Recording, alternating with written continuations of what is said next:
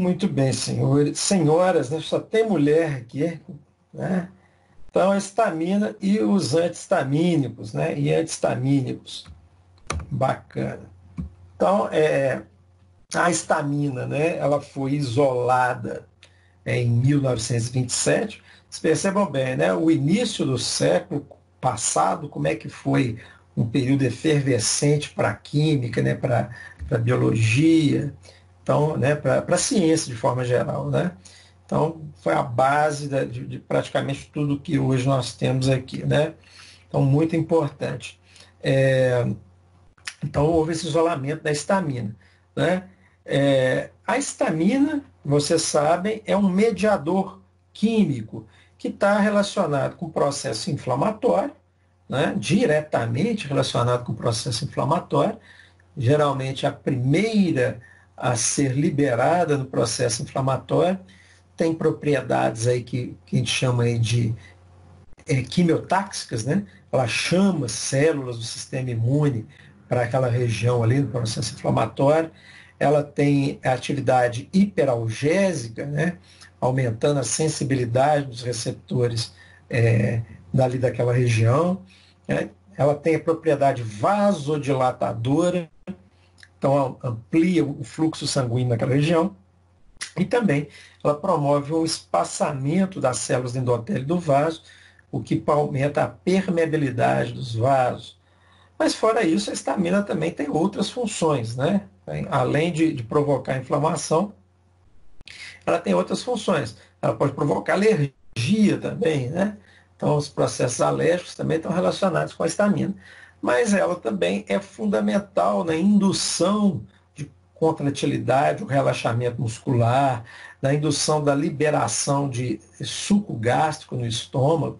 Então, são todas características aí da, da estamina. E elas se encontram basicamente nos mastócitos, né?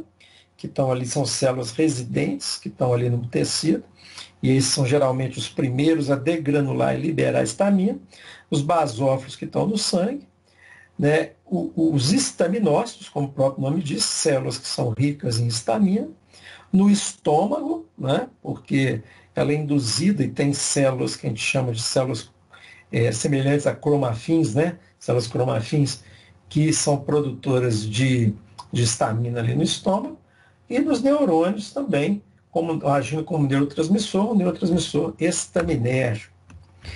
Então, é a biossíntese dessa estamina. A estamina tem uma biossíntese muito fácil e muito, vamos dizer, rápida. Tem, tem sínteses aí que demoram várias etapas, né? Ela não. Ela parte da histidina, que é um, que é um, um aminoácido, né? Então, né, vai ocorrer lá no aparelho, no, no aparelho, no aparelho, ficou faltando o ar aqui, viu, gente? No, no, no aparelho de Golgi, né, de mastócitos e basófilos, e produz, então, através da ação de uma enzima descarboxilase, ou seja, que tira uma carboxila. Né?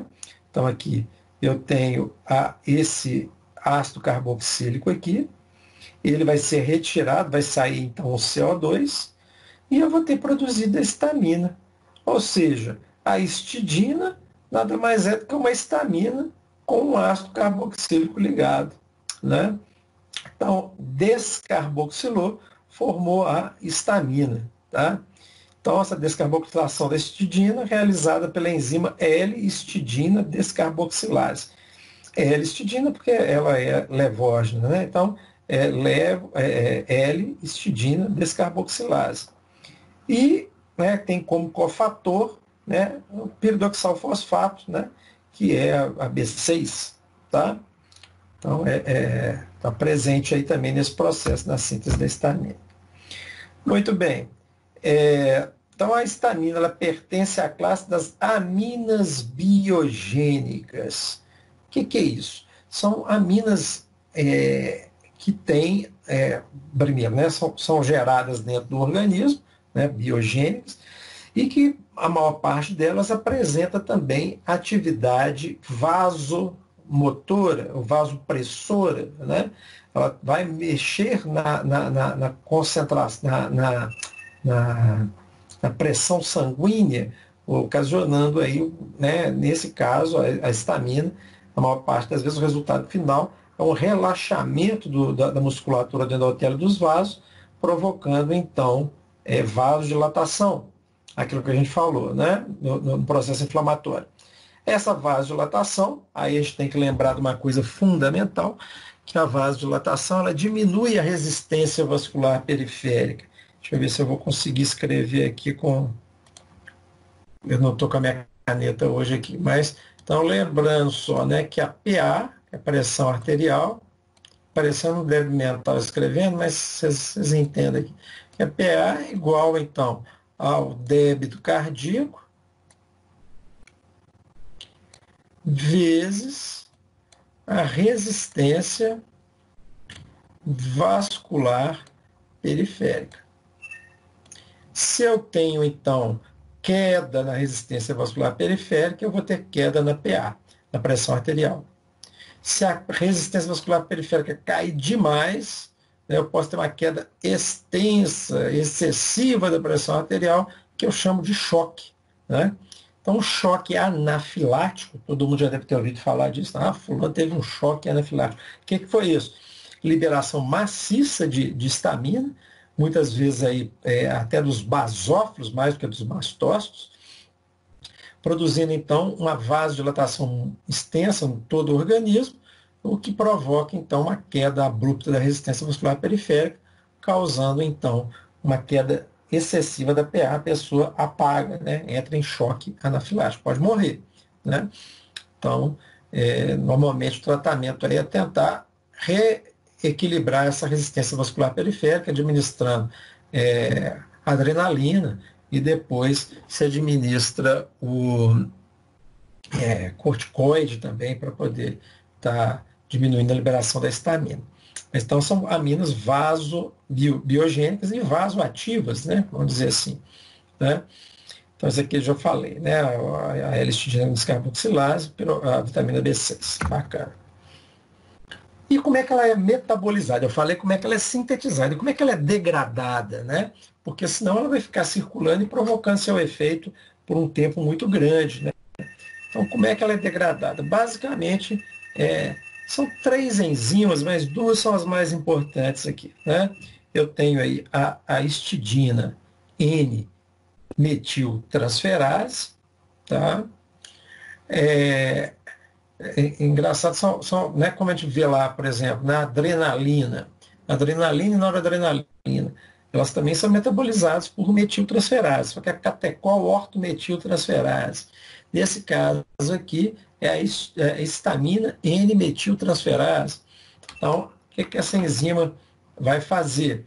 Ó, como o próprio nome indica, né, ela vai transferir né, grupos metil, ou seja, ela vai metilar a minha, a minha estamina. Então, a estamina está aqui, passou por ação aqui, já está né, tá dando um outro nome dela, imidazol N-metiltransferase, porque esse aqui é um, um anel imidazólico, então está colocando um grupo metil no, no nitrogênio do, do grupo é, do grupo imidazol. Né? Então, colocou esse grupo metil, então eu vou ter a metilstamina.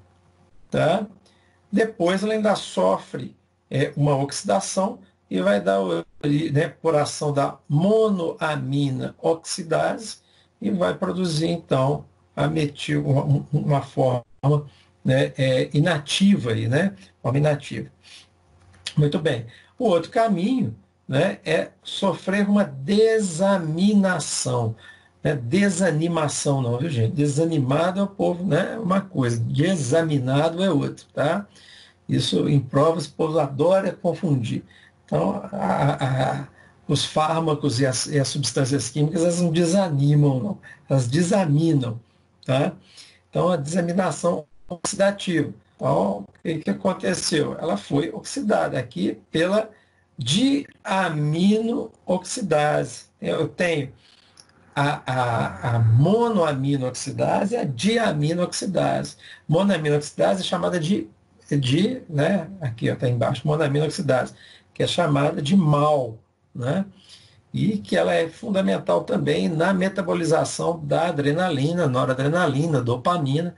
Então, todas as aminas, né, ela acaba agindo. Né? E nesse caso aqui, eu tenho também a ação de uma outra oxidase, que é a diaminoxidase, porque tem dois grupamentos amina, então ele vai quebrar essa, essa, substituir essa amina por um grupo de um ácido carboxílico. Né? E vou ter basicamente o mesmo produto aqui, só não está metilado. Né?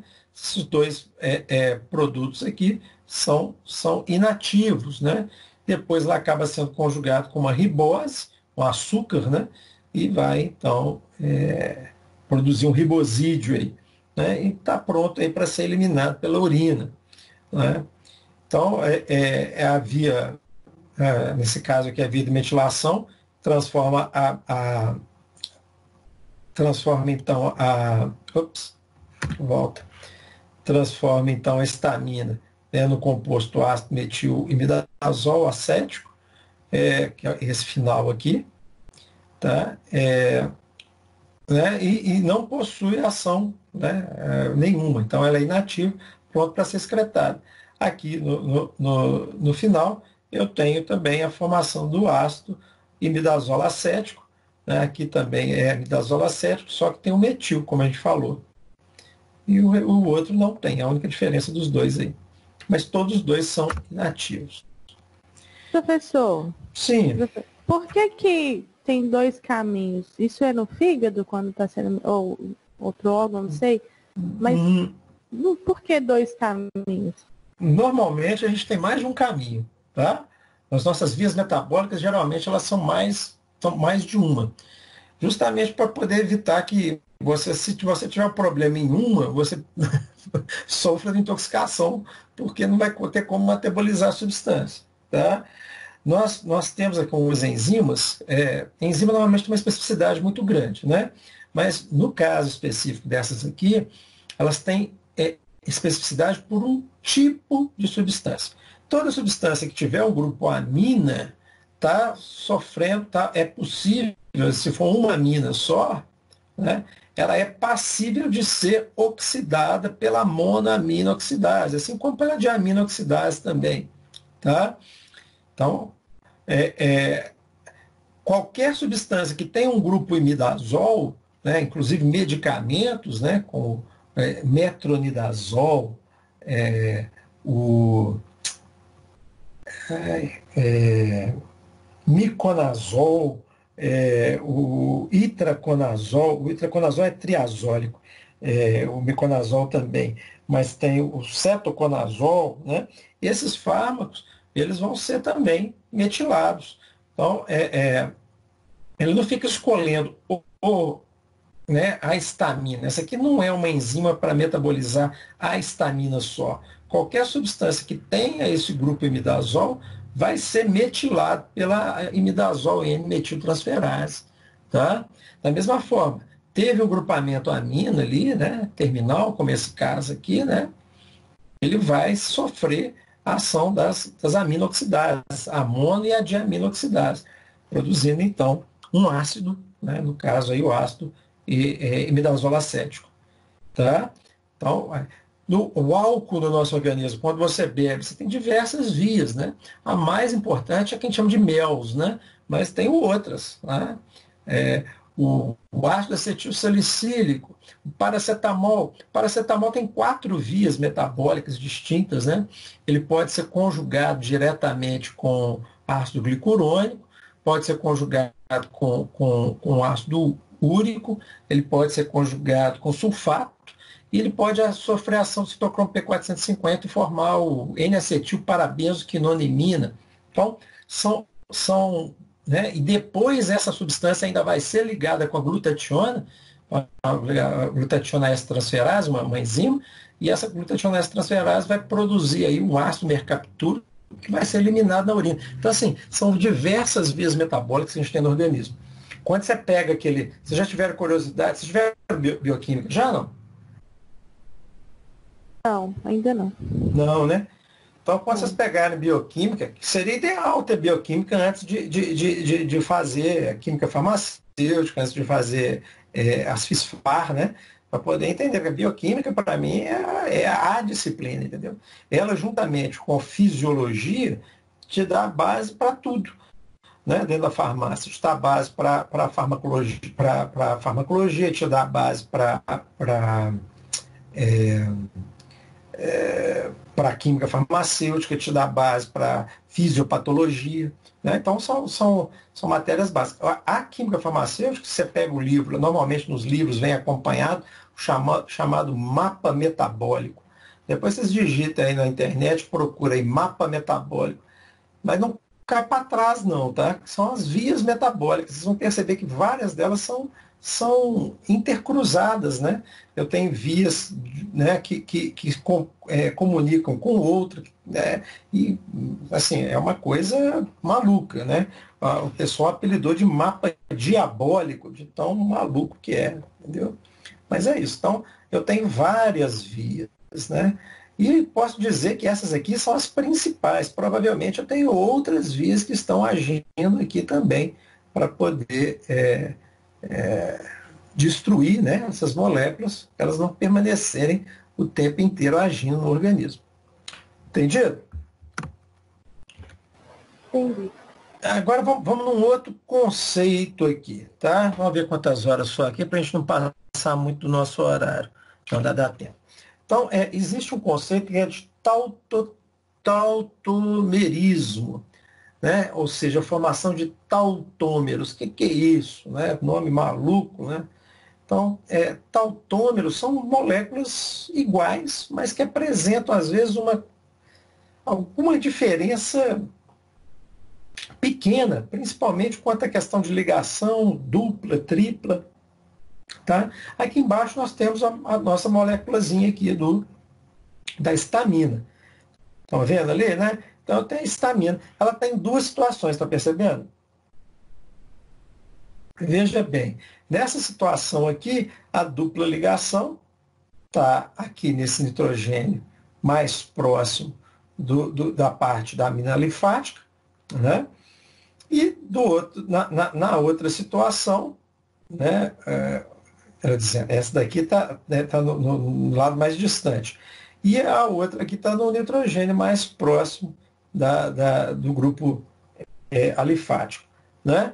Então, é, essa dupla ela migra, né? necessariamente ela migra. Então, se essa dupla, né? se, se esse par de elétrons, se esse elétron migra para cá, eu formo a dupla com esse nitrogênio, esse nitrogênio abandona esse hidrogênio.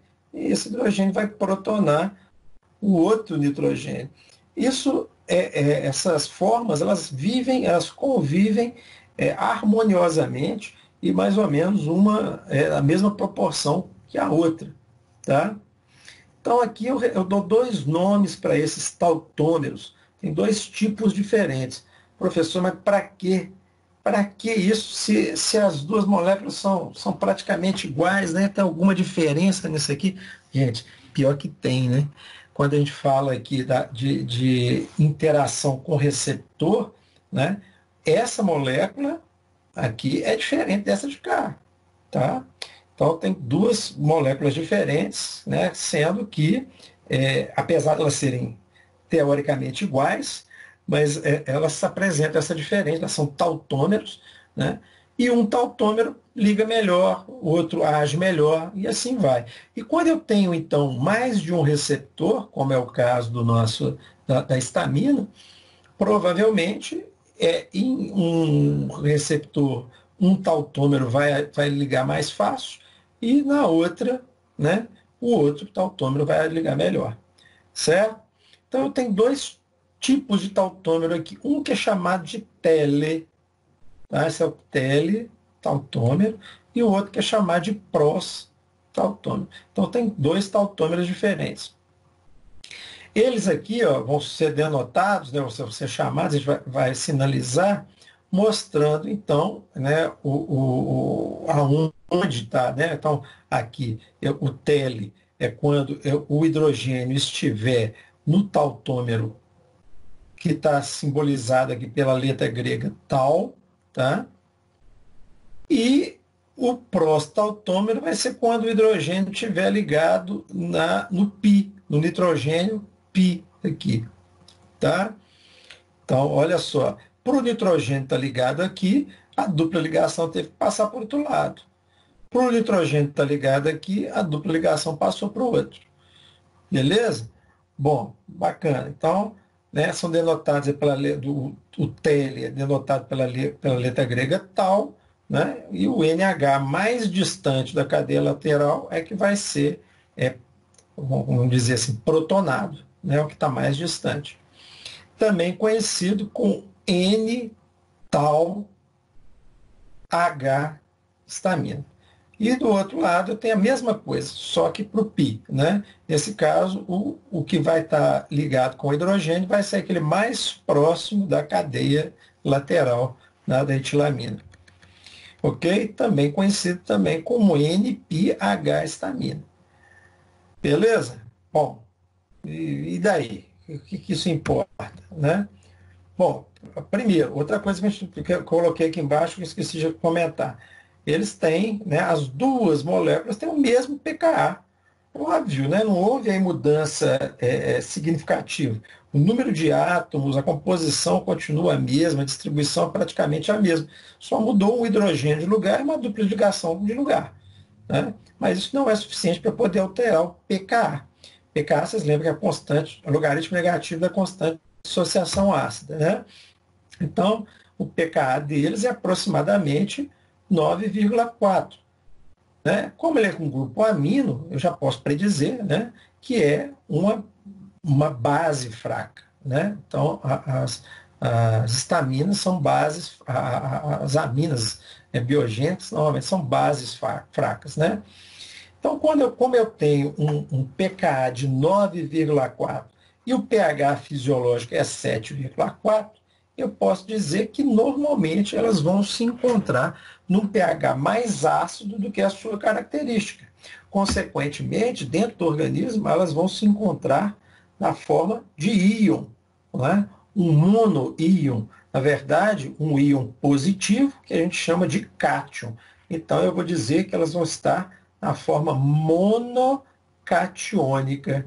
Todo mundo entendeu isso? Né? Então, lembrando, pondo em prática o que a gente aprendeu lá no, na, na, primeira parte. Né?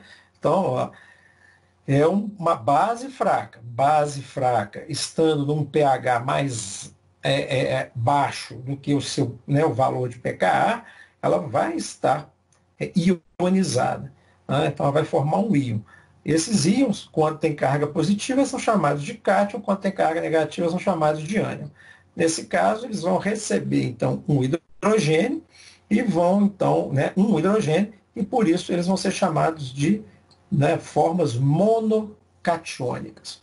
Então, olha lá, aqui mostrando o T-tautômero, que é né, aqui onde está ligado aqui no, no, no, nitrogênio, é, que tem o, o, tal, né, que é o mais distante aí da, da cadeia, e eu tenho, né, é, ele ainda é conversível, né, ele vai se, se convertendo aí. Mas eu tenho diversas formas diferentes aqui. Ele pode passar para a forma PROS e continuar protonado. Uhum.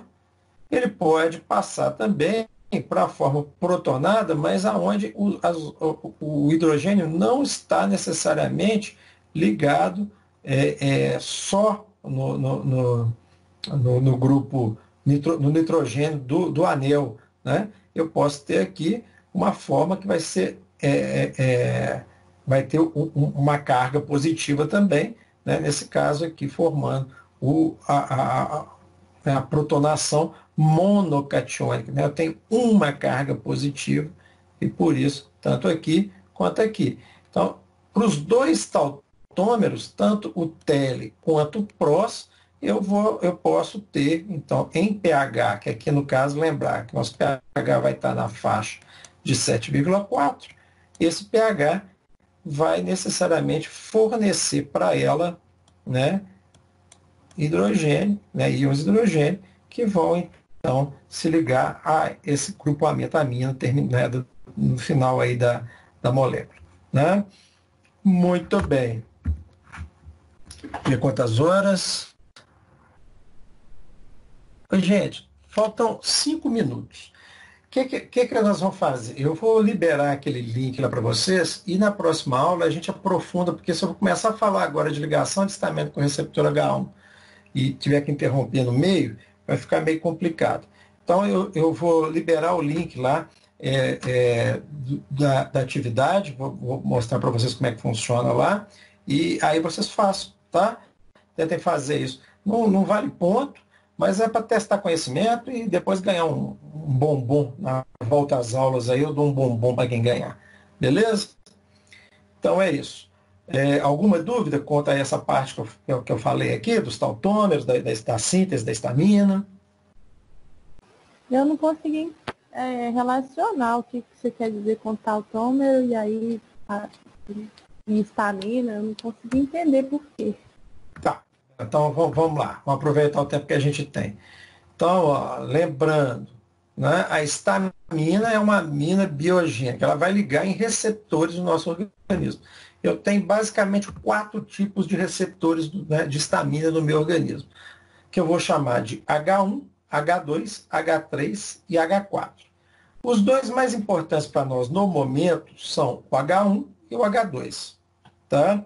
O H1 é aquele que está relacionado normalmente com a, as reações alérgicas, com o processo é, inflamatório, tá? com, a, com a anaflexia. Então, beleza. E o H2 que está relacionado aí com secreção de, de suco gástrico. Tá? É, para que esses fármacos, para que essa substância química, ou seja, a estamina, entre em, é, é em ação, ela precisa se ligar a esse receptor. Tá? Então é aquela história. É, eu tenho uma mensagem. Essa mensagem foi lançada é, na forma da estamina. Essa estamina está lá né, sendo liberada pela, por uma célula, dando mensagem para outra célula fazer alguma coisa. Não sei se vocês lembram né, daquelas comunicações celulares, né? É, tinha lá é, é, autócrina, é, é, endócrina. No caso aqui, né, é mais. É, é, e a. Pô, eu vou esquecer a outra. É, eu acho que é meso, mesócrina. Né? Não, não, mesócrina, mesócrina é outra coisa. bom, mas de qualquer forma, né, são comunicações celulares. Então, quando eu, eu, eu comunico, é igual rádio, né? Eu ondas do, de rádio ou telefone celular, que é uma coisa do dia a dia de vocês. Alguém está mandando, está ligando para você, aquilo vem onda eletromagnética, mas você não consegue captar a onda eletromagnética no seu ouvido. Você precisa de um aparelho para pegar aquela onda eletromagnética, transformar aquilo em som, para que você consiga entender a mensagem que a pessoa está passando. Aqui é a mesma coisa. O organismo ele também trabalha com mensagens, né? Os mensageiros ou mediadores químicos ou neurotransmissores ou hormônios são substâncias químicas que estão trazendo alguma mensagem para acionar ou para desativar determinada célula ou órgão ou sistema. Tá? Então, para que isso aconteça, eles precisam de um receptor, como né, o aparelho celular lá que recebe a, a que esse receptor é onde o meu fármaco vai se ligar, ou a minha substância química, né? Agora, se perceba bem, se é, vocês já pegaram aquelas ligações que, que, a, que parece que tem uma caixa de abelha e que não, e na verdade você não consegue ouvir a voz da pessoa, fica só um zumbido ou um negócio parecendo, né? Ou seja, aquela, aquela mensagem não chegou direito ela não está se conectando aonde ela deveria se conectar, ou aquele receptor não está conseguindo entender aquela mensagem. Isso pode acontecer no organismo também. Tá? Então eu tenho os receptores da estamina, eles para poder entenderem o recado que a estamina está passando, né, porque ela é o recado, né, para entender esse recado, elas precisam interagir agir com essa estamina, precisam se ligar. É a forma de, ligação, uma ligação química. Tá? E eu tenho formas tautoméricas, ou seja, eu tenho formas diferentes. Olha, é muito parecido uma com a outra aqui, só que tem uma diferença. Né? Essa daqui tem o hidrogênio aqui e a outra tem hidrogênio lá. Esse hidrogênio aqui pode impedir que essa estamina se ligue lá no receptor. Não sei, tá? No, depois nós vamos falar nisso com mais calma, só para te dar um exemplo. Se ligue no receptor é, é, H, H1, tá? E no outro aqui, né, dessa forma tatuamérica aqui, vai ser a forma que vai se ligar melhor, onde a mensagem vai ser entendida. Tá? Por isso que eu tenho que entender qual das formas tautoméricas é que é melhor para a mensagem ser transmitida. Mas para que isso, professor? Isso não está acontecendo dentro do meu organismo? Tá, mas eu vou desenvolver fármacos antihistamínicos pensando nisso eu vou criar um fármaco que, que, que tenha predominantemente a forma tautomérica, se eu puder, né? que ele tenha as interações que a forma tautomérica tele, por exemplo, tenha, e não a pros. Tá? E com isso, ele, esse fármaco vai conseguir ligar lá com o receptor e bloquear esse receptor, por exemplo, para poder acabar com a alergia que eu estou tendo.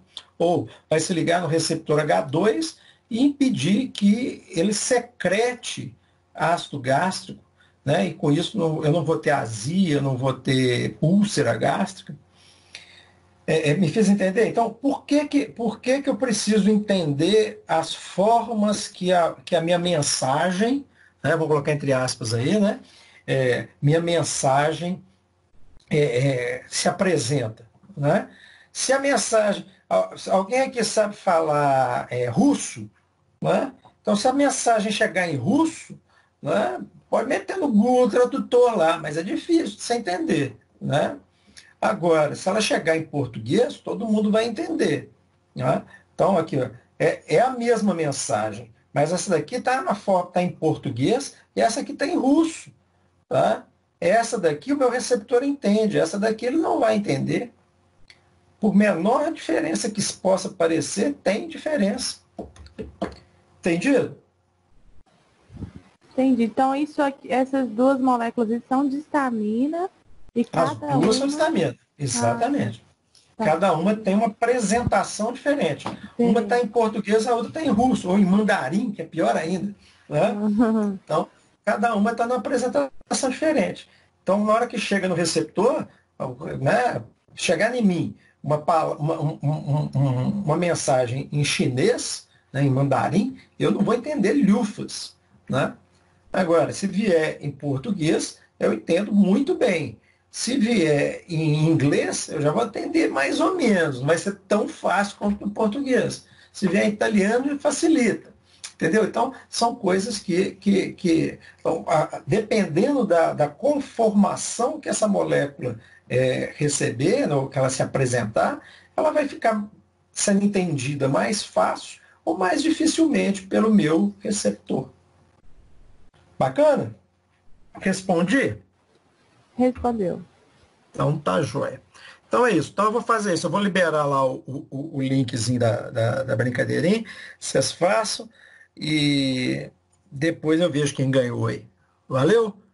Bom, então, gente, um, um grande abraço para vocês, um bom descanso. Eu vou ver se eu consigo colocar também algumas é, é, o trabalho já de uma vez para vocês já irem ganhando tempo e, e, e preparando. Tá joia? Então, boa noite para vocês. Boa noite.